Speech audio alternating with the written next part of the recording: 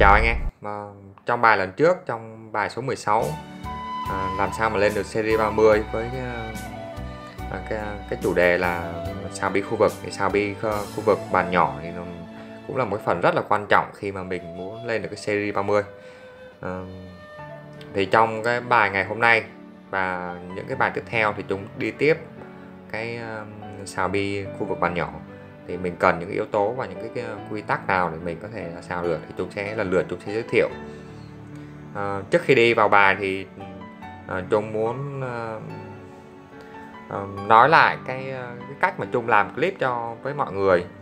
Bởi vì Trung không có làm clip nào ạt mà à, mình sẽ khoảng mất một tuần hoặc hai tuần để mà làm một clip. Ừ.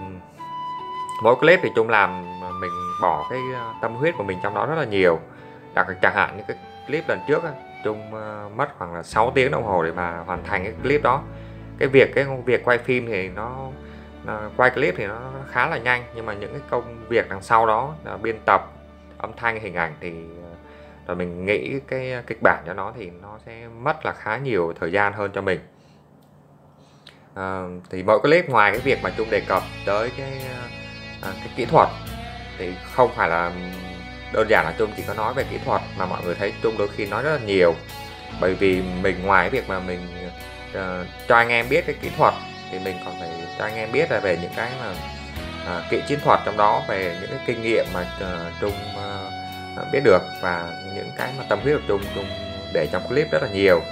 Nên và một clip mà Trung đưa ra thì thường là hướng tới nhiều nhiều anh em hơn nhiều uh, trình độ khác nhau nên không phải mà tự nhiên một clip mà có anh em thì ở mình đang ở sơ cấp tiền sơ cấp thì lại thấy những có trong clip có những cái câu nói của chúng nó lại hay rất là áp dụng được cho mình. Những anh em mà trung cấp hoặc là cao cấp thì lại thấy thấy chung có có những cái câu, câu nói khác thì nó lại hợp với mình. À, bởi vậy nên khi mà làm clip là chung cũng là ờ, bỏ rất là nhiều thời gian để mình đầu tư cho cái việc đó để nó hướng hướng tới nhiều anh em hơn ở nhiều trình độ khác nhau à, chỉ có clip vừa rồi thì trung cũng cảm giác là mình cũng à, cũng hơi một chút là mình buồn một chút xíu. À, bởi vì một clip mà trung à, tập trung cái tâm huyết của mình vào trong đó thì trung muốn được nhiều anh em mình à, tiếp cận nhiều anh em hơn. À, cái số cái số lượt view và số lượt like thì nó sẽ thể hiện rõ trong cái việc đó. À, nên mình cảm giác là công sức mình bỏ ra thì nó, nó không có tương xứng với cái việc mình nhận lại thì nó hơi một chút buồn. Nên uh, thực uh, anh em mình á mình cố gắng mình ủng hộ chung. À, bằng cách là mình có thể là like clip. Không cần mọi người phải xem đi xem lại nhiều thì cần like like khi mà clip nó mới ra là được rồi. Đó là một cách mà mình sẽ hỗ trợ uh, chung. Và không những vậy mà nó hỗ trợ cho những cái bạn về sau. Bởi mọi người biết mà clip mà nó uh, cái số lượt like và lượt view nó tăng thì cái số người những bạn mà chưa biết cái kênh sẽ biết được cái clip nhiều hơn và đó là cách để hỗ trợ cho cái clip mà nó tới được nhiều anh em biết nhiều hơn và biết nhiều um, uh, kiến thức hơn. À, thì mọi người giúp chung cái vấn đề đó. À, không nhất thiết là mình thấy à, clip mình coi hết clip mình thấy clip nó hữu ích thì mình mình mới like mà mình có thể là like từ đầu. Đó là một cách mà tạo động lực cho chung. À, rồi bây giờ chung sẽ à, đi vào cái bài nội dung chính ngày hôm nay. À, trong ờ, bài ngày hôm nay thì ờ, trước khi vào bài thì Trung muốn nói sơ với anh em một chút xíu về cách luyện tập của những cái cơ thủ châu Âu người ta sẽ luyện tập khi mà xử lý bi như thế nào. à, những cơ thủ châu Âu thì à, khi mà Trung đọc tài liệu người ta nói rất là đơn giản, lý thuyết người ta đưa ra cực kỳ đơn giản và ngắn gọn. Thì thời gian đầu tiên này Trung đọc Trung vẫn cái độ thấm của mình chưa có. Thực ra Trung đọc cái à, những cái lý thuyết là giáo trình này là từ cách đây khoảng 3 năm rồi. Nhưng thời đó ừ, trình độ mình chưa tới nên mình nghiệm không hết được nhưng mà à, tới mà thời gian gần đây thì chung mới nghiệm ra hết được cái người ta. Bởi vì thực sự là cái lý thuyết người ta đưa ra rất là đầy đủ và ngắn gọn. Có điều là um, bây giờ mình tập này khá là tự phát nên mình cảm giác là người ta có vẻ giấu kiến thức và người ta à, kiến thức người ta đưa ra là không có đầy đủ. Nhưng thực ra là nó rất là đầy đủ và đơn giản. À, à, khi mà tập xử lý bi ấy, những cái ờ, cầu thủ châu Âu mọi người thấy người ta đánh xử lý bi cũng khá là đơn giản. Thì nó sẽ liên quan đến vấn đề này người ta sẽ không tập lan man và người ta sẽ xử lý bi người ta tập hai thứ thôi. Cái đầu tiên đó chính là người ta tập lấy được cái mặt bi. Người ta phải lấy được cái mặt bi 100% cái thứ hai là người ta sẽ tập lực là người ta chỉ tập hai cái đó thôi nên mọi người thấy là khi mà người ta tập nhuần nhuyễn hai cái đó thì uh, người ta luôn luôn ra bi đẹp và người ta không phải là ra những hình bi ngẫu nhiên và bắt đầu là mình đi sửa những hình bi ngẫu nhiên đó. Giống như người ta đánh ken thì luôn luôn ra ra ken đúng và người ta không cần phải sửa ken. À, cái đó chính là cái sự khác biệt. Người ta chỉ có tập hai cái kỹ năng này trong vòng uh, khoảng 3 đến 6 tháng. Còn trong khi mình tập luyện ở Việt Nam thì mọi người thấy là à, mình lại không tập những cái đó. Mình chỉ tập để trô cho chúng và trô cho nó về gần gần thôi. Thì bù qua bù lại mình đi tập những cái thế xử lý bi rời rất là nhiều. Thì cái đó theo chung là mình đi theo một con đường tập luyện nó không được khoa học cho lắm. Thì ngày hôm nay chúng sẽ à, nói về cái cái bài tập đầu tiên của người ta, đó chính là bài tập lấy mặt bi à, ngày hôm sau chúng sẽ nói về cái cách mà mình sẽ căn lực như thế nào. Bởi vì khi mình tập hai cái này là mình luôn luôn ra bi đẹp và cũng không cần phải à, sửa bi nhiều. À, trong trận đấu thì mọi người thấy là à, người ta luôn luôn gài vào một thế thế trô và cái khoảng cách ba bi là nó có cái khoảng cách bởi vì người ta cũng tập cái cái khả năng gài hình và à, tập lực rất là chuẩn rồi thì luôn luôn ra được những cái thế bi như vậy. Là ba bi nó cũng khá là gần nhau à, tạo ra một thế trâu bi chủ mình là bi một xanh dương. Người ta thế trâu bi đỏ về. Và à, trúng vào bi bi mục tiêu hai là bi một màu xanh lá. Thì cái cách người ta trô không phải là người ta trô để uh, cho cho bi đỏ nó về gần. Mà người ta phải tính đến cái vấn đề là người ta sẽ cho làm sao mà bi uh, bi chủ của mình nó chạm vào cái mặt nào trên bi mục tiêu hai để cho mình bất chấp cái việc là bi đỏ nó chạy với cái lực thiếu hay lực dư thì luôn luôn ra một thế đẹp sau đó.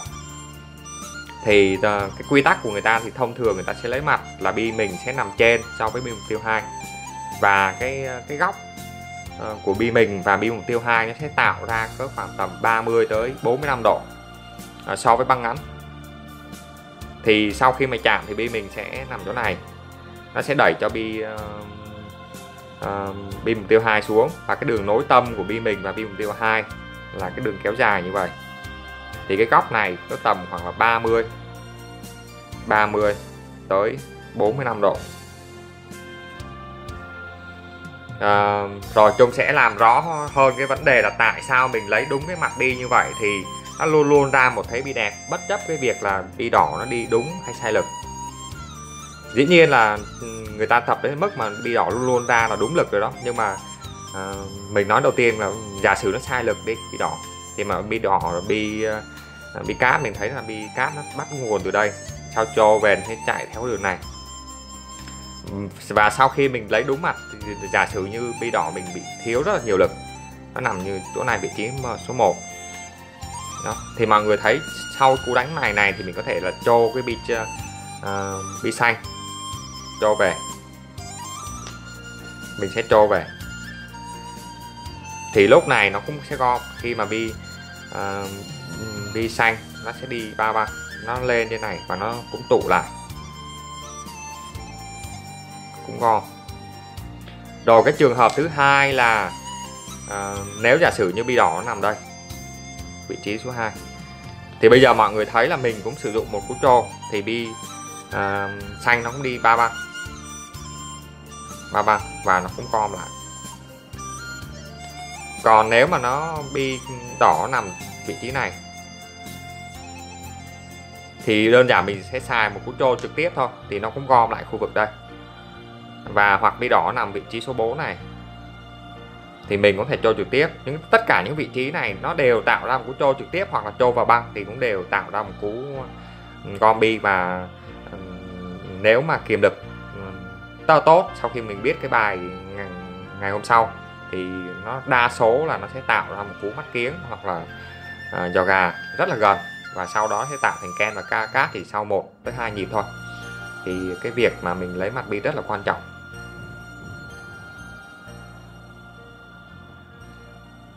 Bây giờ chúng sẽ giới thiệu một vài cái tình huống khác mà mình khi mà mình uh, tráng mình trô lấy đúng cái mặt bi thì trong cái tình huống này thì bi mề bi chủ của mình là bi màu đỏ bi cát và bi mục tiêu hai.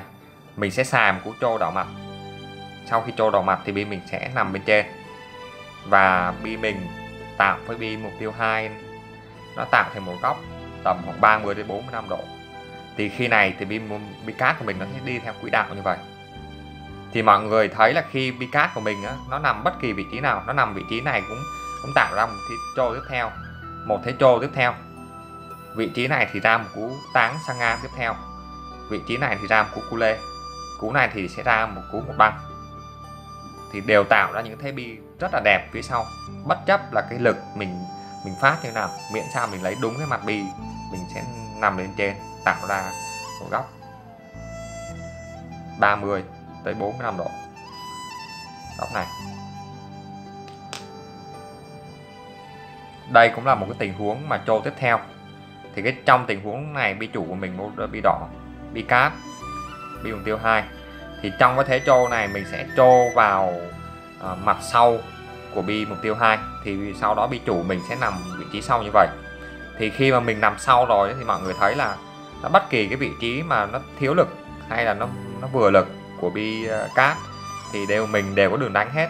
Thì khi mà mình nằm sau như vậy thực ra chúng vẽ hơi nằm sau nó nằm bị lấp mặt rồi, nó nằm sau nhưng nó nằm bên dưới một chút xíu thôi. Thì những cái vị trí này á, thì nó có nếu mà chẳng hạn đi mà đi à, cát nó lên đây thì đơn giản nó ra một cú trò gà rồi. Có nằm đây thì mình sẽ ra một cú mắt xe để mắt xe mà từ trên xuống. Cú mắt xe này khá đơn giản. Thì tất cả những cú kia cũng đơn giản thôi. Còn nó nằm những cái vị trí này thì mọi người thấy là mình, do bởi vì mình nằm sau á, nên là mình có thể đánh dựa băng hoặc là mình sẽ đánh sơn giò gà vào trực tiếp đều được hết. Khi mà mình nằm sau. Còn nếu mà mình lấy sai mặt mà mình lấy nằm dưới này, hoặc mình nằm vào bên trái, thì lúc đó cái tình huống mà đã xấu rất là nhiều. Và mình, khi đó mình chỉ có, mình sẽ không đánh được cái bi bi bi thứ hai này, mà mình phải quay qua mình đánh bi đây. Thì lúc đó mình rất là khó đánh. Mình không có đánh trực tiếp được. Rồi bây giờ Chung sẽ có một vài tình huống demo ở đây chúng sẽ demo một cú ờ, retro ba băng. À, mình sẽ đánh một cú đánh chết bi. Bi chủ mình cách uh, với bi uh, bi vàng chỉ một trái đến một trái rưỡi thôi. Và lấy đúng 30 đến 45 độ. Thì bi đỏ nó nằm bất kỳ vị trí nào thì cũng đều ra một cú đánh đẹp sau đó. Vừa rồi là một cú mà retro thứ hai là lập tức là nó sẽ tạo ra một thế uh, kem và cát sát băng ngắn liền. Tôi biết thực hiện lại cú rồi. Và mình sẽ cố gắng mình thay đổi lực hoặc là thay đổi áp phê một chút xíu để tạo ra một thế bi khác. Mà với điều kiện mình chỉ cần lấy đúng mặt thôi thì nó có ờ, đúng như cái lý thuyết nó nói hay không? Tiếp tục ra một cú trô nhưng mà cú trô này nó xa hơn thì mình sẽ phải xài nhiều lực hơn một chút xíu để cho bị vàng đi được hai băng. Ở đây chúng sẽ đề một tình huống, mình sẽ retro hai băng, tán hai băng. Tiếp tục là một cú đánh chết bi. Khoảng cách ờ, giữa bi chủ và bi ờ, vàng thì là một đến một trái rưỡi thôi. Thì đây mình sẽ ra một cú ờ, cú lê, thì nó cũng sẽ tạo lại một cặp mắt kiến lại một thế can nghịch. Thì trong uh, những cái mà bài tập để mà có thể là xào được uh, khu vực bàn nhỏ thì ờ, nó sẽ có một vài kỹ thuật thôi. Thì đầu tiên là cái việc mà lấy đúng mặt bi. Thứ hai là lực thứ ba là làm sao đánh chết bi được. Thì nó sẽ ba bài tập quan trọng đó. Thì trung ngày hôm nay trung chỉ tập trung vào cái cái việc mà lấy đúng mặt bi thôi. Tiếp tục chúng sẽ thực hiện lại thêm một lần nữa. Mình không cần quan tâm quá trong bài tập lần này mình không cần quan tâm quá nhiều đến việc bi đỏ nó chạy như thế nào. Mình chỉ cần lấy đúng được cái mặt uh, của bi mục tiêu 2 thôi. Tiếp tục là một thế lấy mặt cũng khá là chuẩn xác. Nằm đúng 45 độ.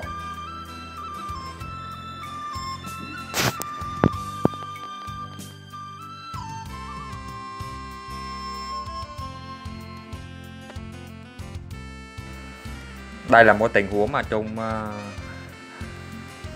luyện tập.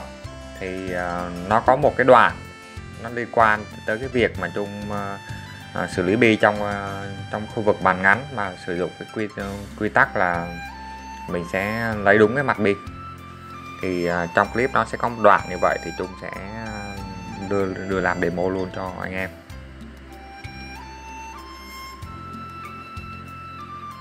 Vừa rồi là đúng theo nguyên tắc là mình sẽ đưa cho hai bi mục tiêu nó ra khỏi cái khu vực số 2 chứ mình không để cho nó nó gần vào băng dài. Ở đây Trung sẽ sử dụng Trung sẽ retro để lấy cái mặt trên để mọi người thấy Trung lấy mặt trên của vàng. Thì bi đỏ nó chạy bất kỳ vị trí nào thì nó đều ra vị trí đẹp hết. Thì trong vị trí này nó sẽ ra một cú một băng. Miễn sao bi mình nó nằm trên là được. À, một cái cú retro bị đỏ. Trung sẽ lấy mặt sau của bi ờ, bi vàng. Đây là tình huống mà Trung có nói vừa rồi rồi. Thì mình đánh đúng đúng cái nguyên tắc.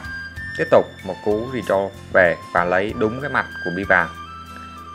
Nó tạo ra một cái góc là tầm khoảng 30 độ.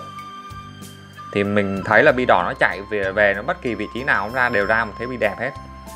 Tiếp tục một cú cu lê thì trung sẽ cu lê lấy mặt trên, tạo ra một thế là cũng tiếp tục là 45 độ.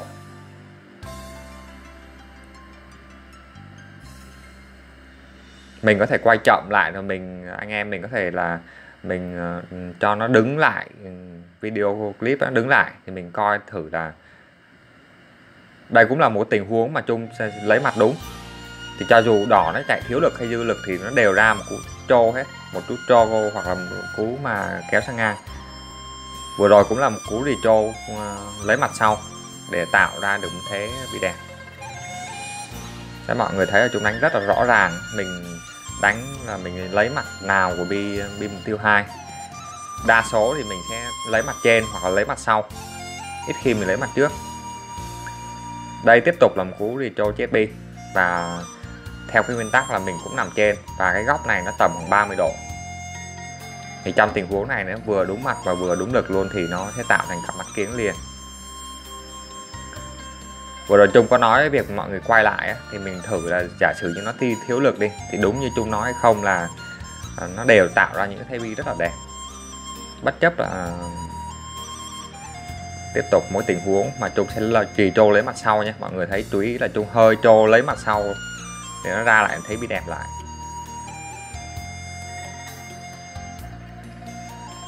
Đây, cái việc mà trong pizza, cái việc mà lấy mặt đó là cái cái yếu tố đó là quan trọng nhất. Lực mới chỉ là cái vấn đề thứ hai thôi, mặt bi mới là vấn đề quan trọng nhất. Rồi, đây là một tình huống mà chung sẽ gì cho đảo mặt lấy mặt trên, tạo ra một góc à, 30 45 độ, đó mọi người thấy. Bất chấp bi đỏ chạy đâu thì nó đều ra một thế bi rất là đẹp. Ở đây thì nó sẽ ra một thế bi à, cu lê. Nếu bi đỏ mà đi thiếu lực thì ra một cú kéo sang ngang hoặc là thiếu lực hơn nữa ra một cú trô còn lên bi đỏ đi lên nữa thì ra một cú là một băng. Vừa rồi một cú cu lê chung cũng tuân theo nguyên tắc là mình sẽ lấy đúng cái mặt là 30 đến 45 độ. Bi mình nằm trên.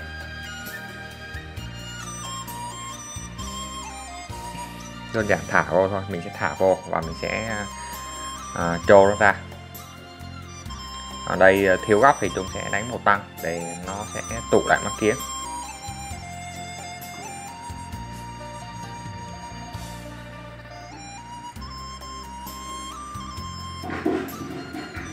Tiếp tục vừa rồi, một cú retro đảo mặt để bi mình nằm trên và tạo ra một góc 30 độ.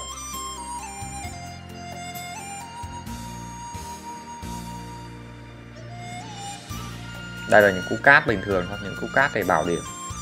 Cú này mình phải ờ, phải lấy ra sau đó. nhưng mà chúng đánh bị thiếu cái lực thì mình sẽ không ra sau được. Nhưng mà mình sẽ sửa bằng cái cú này. Mình sẽ đánh một cú mắt xe để mình sẽ chủ động ra sau luôn, chứ không chờ nó đá ra sau thế mọi người thấy ra một thế rất là đẹp khi mà bi mình tạo cái bị đỏ một góc 30 độ. Đây là những tình huống ờ, đánh cát thôi. Tiếp tục chúng sẽ để cho bi mình nằm sau và dồn cho bi đỏ và bi ờ, vàng nó về phía bên tay trái. Là bi mình sẽ nằm về một phía thôi đó. Lúc thì mình nằm sau hoặc là lúc thì mình sẽ nằm trên. Để có hai tình huống mình lấy mặt như vậy thôi. Một cái cú mà mình sẽ mắt xe lấy mặt dưới để tạo ra một cú trô tiếp theo.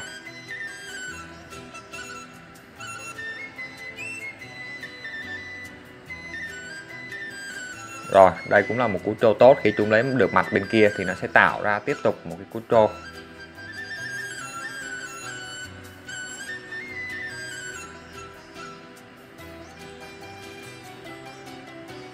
mọi người để ý đây là một cú trô chung chưa lấy mặt đúng nha. Bi mình phải nằm trên đó, nó tạo ra một góc 30 độ thì nó mới tạo ra một cú bi đẹp được. Thì đâm bi này mình lấy mặt hơi sai.